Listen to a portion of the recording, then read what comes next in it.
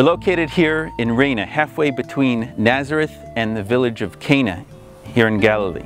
This is an incredibly interesting site which served both as a quarry and a workshop for the production of stone vessels 2,000 years ago. Here we are inside the cave, the artificially hewn cave. We can see here very clearly the signs of quarrying on the ceiling, on the walls as well. We can see blocks of stone that have begun to be carved out.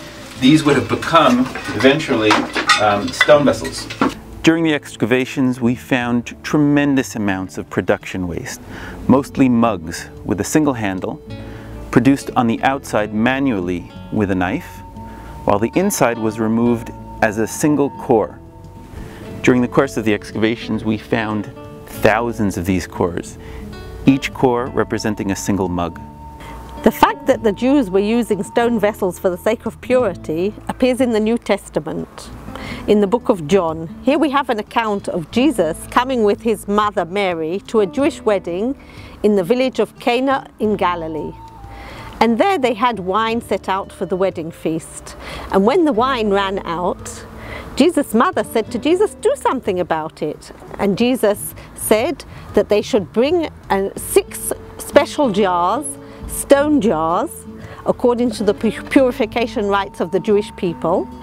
And these stone jars were full of water and the water turned into wine. And it was a result of the water turning to wine that people began to appreciate the qualities of Jesus. From our point of view, the interesting part of it here is that the water and then subsequently the wine was in stone jars according to the purification considerations of the Jews in Galilee in the early Roman period.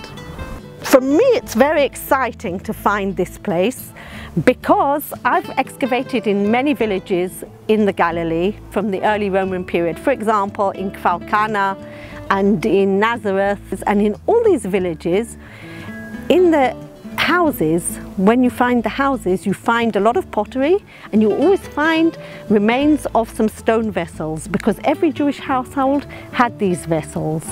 And so to discover the place where they were manufacturing these vessels is very special.